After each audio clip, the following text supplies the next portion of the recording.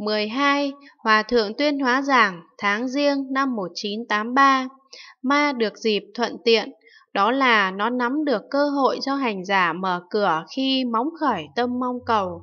Chẳng phải dễ gì hiểu được ý thú của kinh, các ông có thể lầm lạc chút xíu ngay trong kiến giải của riêng mình.